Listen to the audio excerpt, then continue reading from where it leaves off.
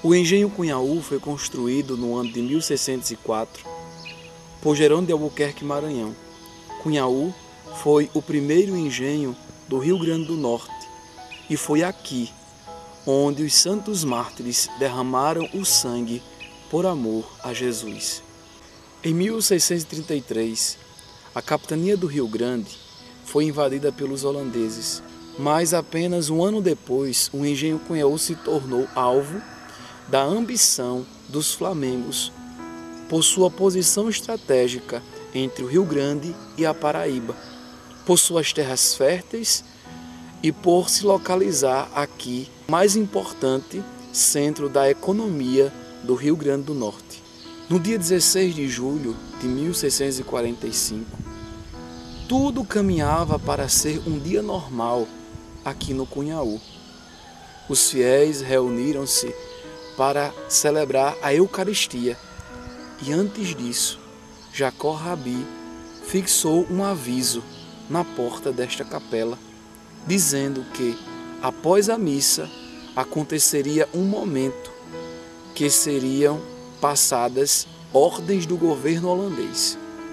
O padre André de Soveral, responsável pela propagação da religião na região, começou a celebração mas no transcorrer da missa, as portas foram fechadas e começou a matança.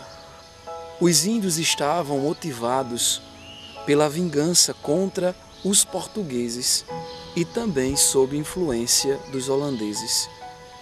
Por serem ingênuos, os índios eram facilmente manipulados. Os colonos, percebendo que seriam mortos, começaram a pedir misericórdia a Jesus. O padre André de Soveral, aos 73 anos de vida, foi assassinado a golpes de adaga enquanto estava no altar desta igreja.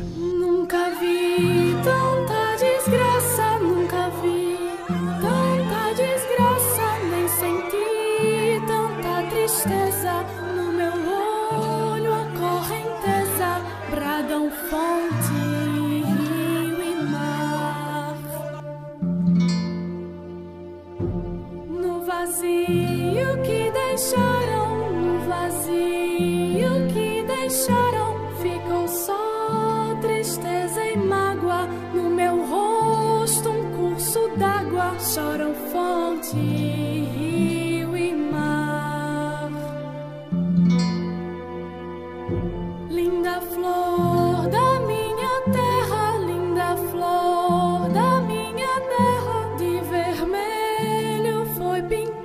Os mártires, nos dias de hoje, são sinais de esperança. Eles viveram profundamente a sua fé, a fé na Santíssima Eucaristia, o amor à Igreja Católica. E eles morreram em paz por estar cumprindo a vontade de Deus. Neste chão sagrado, somos felizes porque temos o testemunho dos primeiros santos mártires do Brasil, sob o olhar protetor de Nossa Senhora das Candeias, sobre a proteção e intercessão dos santos mártires, que desça sobre você, sobre a sua família, a bênção do Deus Todo-Poderoso, Pai e Filho e Espírito Santo. Amém.